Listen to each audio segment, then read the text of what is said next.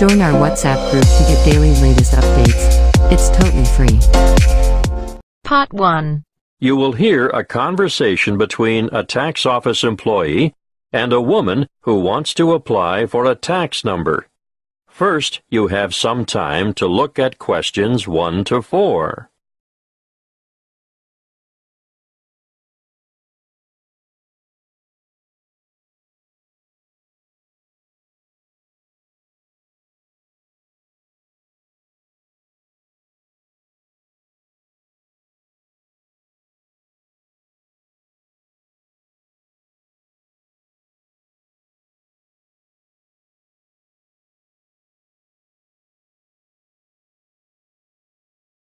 Good morning, tax office. How can I help you?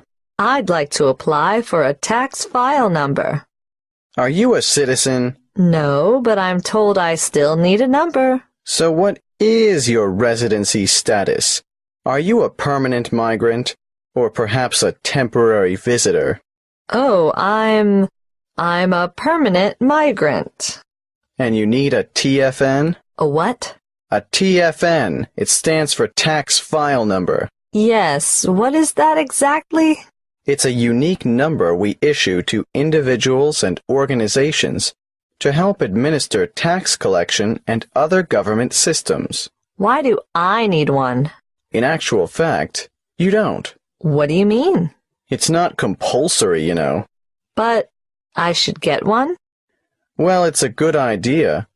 Otherwise, you'll have more tax withheld from your wages or salary. In fact, you won't be eligible to participate in the PAYE, that's pay-as-you-earn system, and you couldn't apply for income support or other benefits. You wouldn't have to pay the Medicare levy, but then you wouldn't be entitled to claim Medicare benefits either. I'd better have one then. Okay. So you're currently living in this country, right? Yes? What kind of visa do you have? A working visa? Well, I did have one because after my student visa expired, I went back home and worked for a year before applying for a job here. The job turned out to be permanent and full-time, and my employers wanted me to settle here.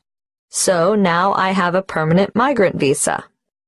Now, once you have a file number, you never need to reapply. Even if your circumstances change, for example, if you get married or decide to take an English name, they'll even use the same one when you retire and apply for a government pension. I see. Have you ever had a TFN before? No. Right. Let's get on with the application process now. Before you hear the rest of the conversation, you have some time to look at questions 5 to 10.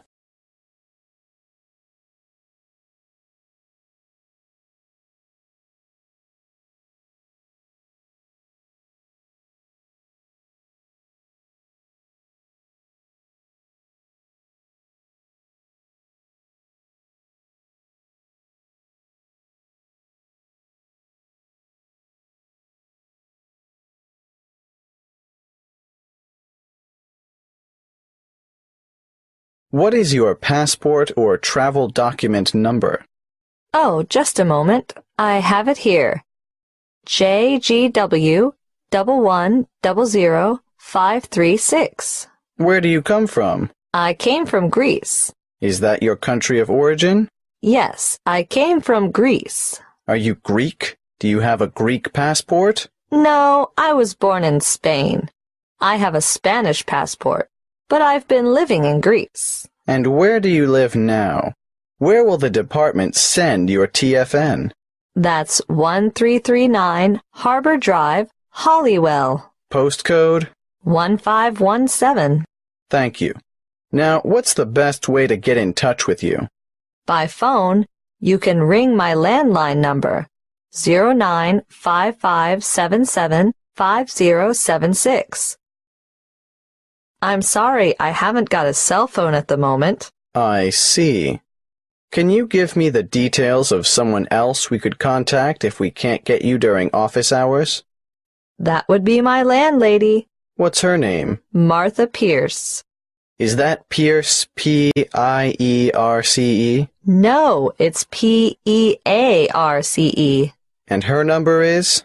The same as the one I gave you. Yes, I've got that.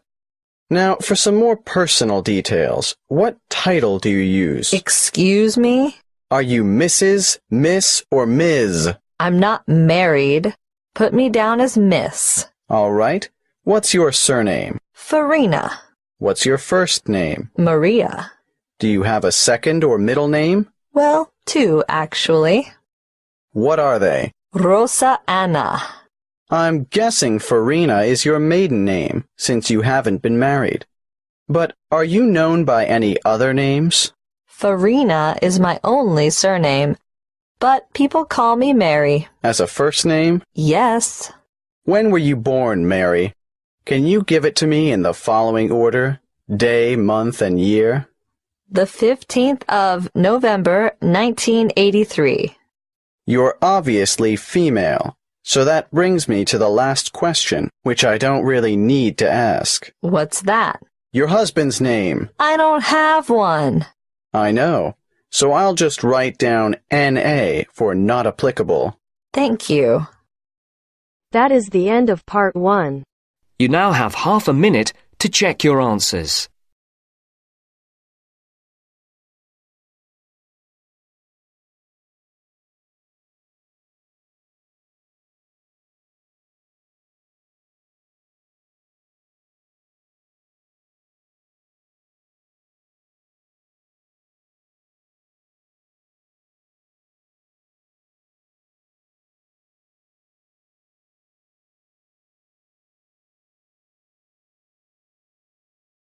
Now turns to part two. Part 2. You will hear a talk about keeping children safe on the Internet. First, you have some time to look at questions 11 to 16.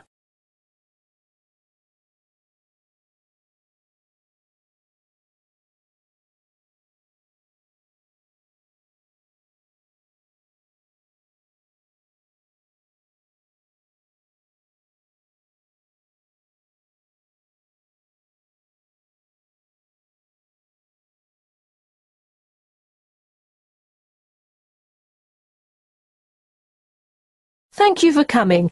It's good to see so many of you interested in keeping your children safe on the internet. What's in store? Well, firstly, I'm going to talk in general about some common sense ideas and rules for young ones using the computer. Then, I'll give you some information on free educational websites. Finally, we'll finish with question time. I'm sure most of you think that the internet can be a frightening place in which to let your children roam loose.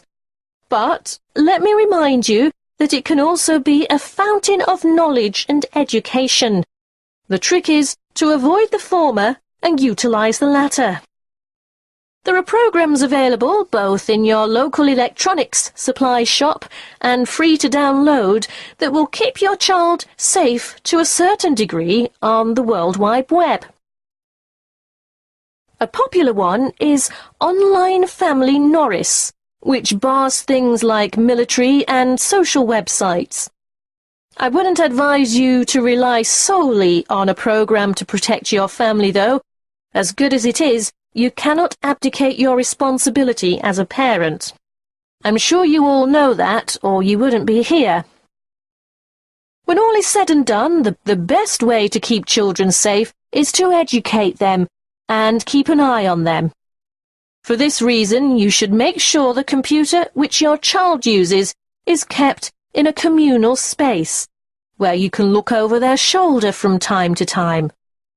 It is paramount that you teach them never to divulge their proper or full name, and to never provide personal information, such as where they live or what their phone number is. Tell them that online friends must remain just that, online, unless they are supervised. It is difficult, I know, to teach children about the dangers of the world when they are so naive, so trusting and innocent.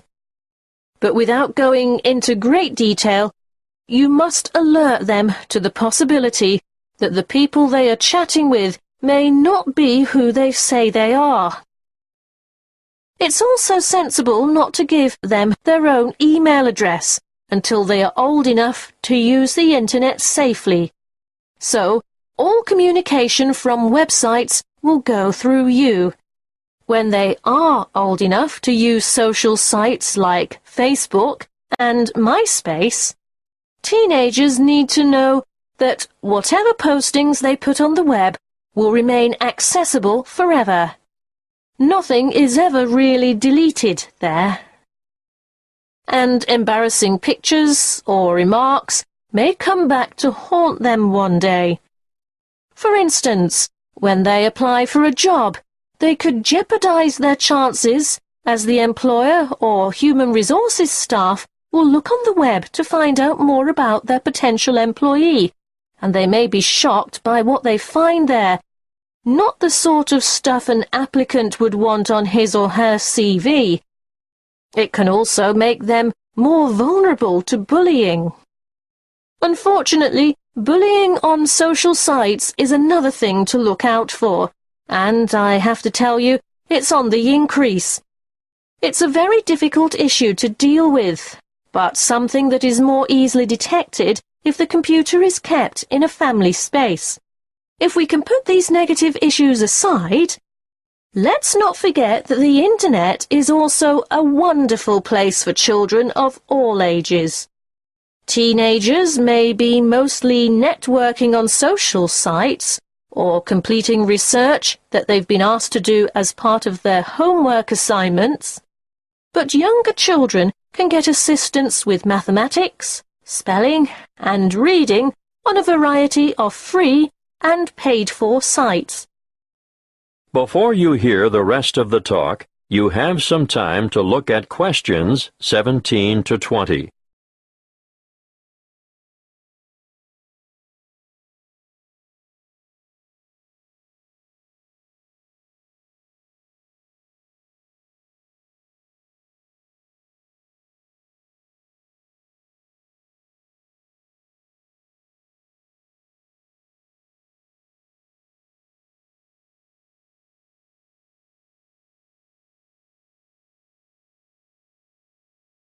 A good way for children to learn and have fun at the same time is the website mathtutor.com. They can practice mathematics on this site, no matter what their level, while they compete against other children from all over the world. And here's a fun way for primary school children to learn the spelling words for the week. It can be such a chore for some children, they just type them in and play games to learn them. What's that? The website? Oh, sorry. Yes, you'll need to go to spellcity.com for that. The one I'm going to tell you about now is one of the most practical sites that's popular with people of all ages. Children, or parents for that matter, can learn to touch type as they sing along with songs and there's a variety of funny characters to help you enjoy yourself as you learn. In this day and age, typing is essential. Everyone should be able to type fast and accurately. So, go to beeb.co forward slash typing and try it out. Don't just leave it up to the kids. Here's a site that parents can use to download worksheets to extend their children by giving them further practice. It's called coolresources.com, and I can really recommend it, particularly for middle school students. Now, are there any questions? That is the end of part two. You now have half a minute to check your answers.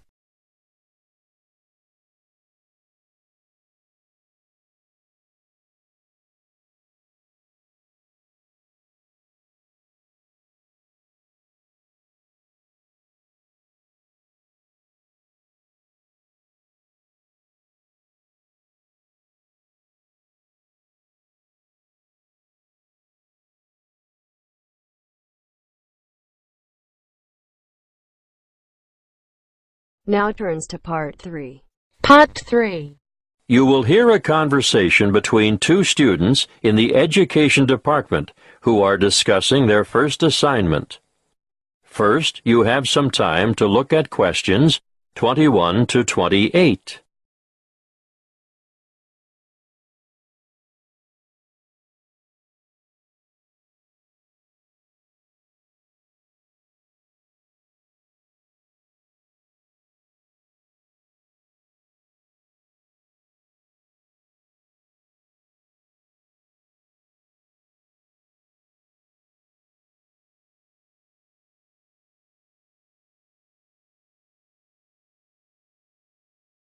Hey, Ted. What are we going to do about this assignment? Well, Cleo, I think it's pretty straightforward. Oh, Yeah. The topic is why study abroad? I suggest we do a survey of international students, collate the responses, make a graph, and exhibit our findings in the form of a poster. wow. You have given this some thought, haven't you? Of course, this is only the first assignment. There will be a lot more to come, so let's get this one out of the way quickly. Well, how do we do the survey? I think we need to find a good selection of foreign students. So, how about we go over to the English language school at lunchtime and talk to some of the students there? That's not a bad idea. But we shouldn't limit ourselves to that department. Why not? Well, think about it. They'll all give the same reason to learn English. Of course, you're right. Well, one of us could cover the language school, and the other could go around the business school. Yes, I know there are a lot of internationals there too, but I think a random sample from foreign students on campus might give us a better range of answers. Hmm. What are we going to ask them? Why are you studying abroad? An open question like that could mean we get hundreds of different responses. It would be better if we made up, say, 10 reasons and asked each respondent to place them in order of importance. You're right. That would certainly make collation easier. Any ideas about what these 10 reasons might be? Sure, I've got enough foreign friends to know quite a lot about what motivates them. Okay. Number one is. I think that's obvious. How about study abroad is the best way to learn a language? And number two is obvious as well. I know. Study abroad gives you the chance to travel. What's third? It's either culture or friendship. Okay, let's go for culture. Study abroad gives you first-hand experience of a different culture. Not just that, but it gives you new experiences as well. Not all of them are good, but it's meeting those challenges and adapting to new situations and solving problems and so on. Let's make that a separate reason. How about study abroad, um, will compel you to develop new skills? Sounds good. Then study abroad promotes international friendship. What are we up to now? Um, wait, that was number five. Do you think learning about yourself is the same as developing new skills? No, I think it's quite different. Probably more closely related to culture. You really mean embracing new concepts and perceptions, don't you? Yes, and reconsidering one's own beliefs and values, or at least seeing them through new eyes. We could make the next one and call it something like Study abroad provides the opportunity to learn about yourself. We ought to throw in a few about study and work, because I'm sure that rates highly with many foreign students. Of course, study abroad gives you the opportunity to expand your academic, um, Academic what? Let's simplify it. Make it the opportunity to study different subjects. yes, good. It can also enhance the value of your degree. How's that? Well, I think you can take courses you would never have had the opportunity to take on your home campus, and employers will know also that your language skills have been given quite a boost. Isn't that the same as number seven? No, I think it's a separate issue. All right, keep it. Now, I think this next one is more important. Shall I change the order? No, no need. The students are going to rank them according to their views. So what is it? Study abroad enhances employment opportunities. Ugh, why didn't I think of that? Anyway, there's one even more obvious than that. Let me guess. Study abroad broadens your mind? Exactly. Okay. Now we have 10. Let's print off 100 questionnaires and go and do the survey. Before you hear the rest of the conversation, you have some time to look at questions 29 to 30.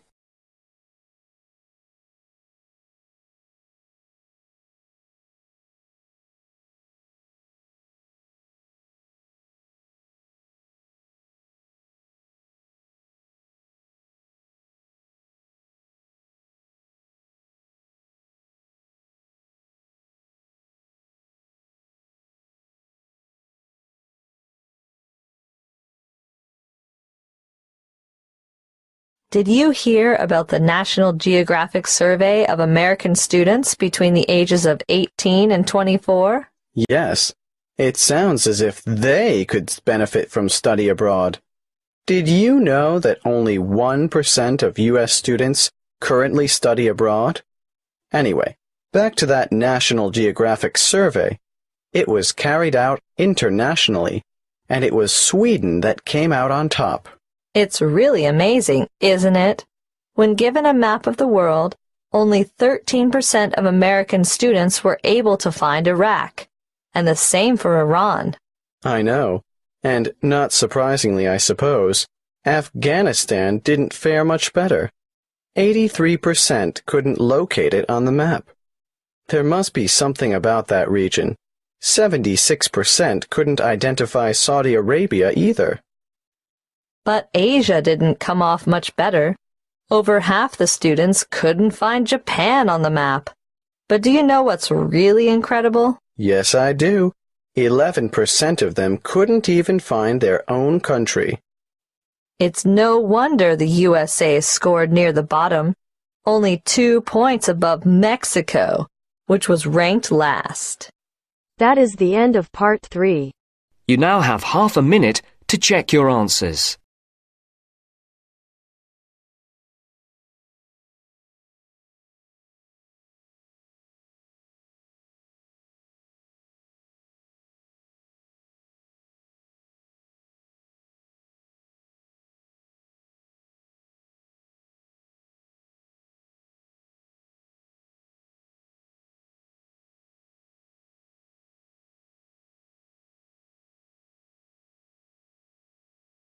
Now turns to part 4. Part 4. You will hear a talk given by a lecturer in the art history department. First, you have some time to look at questions 31 to 40.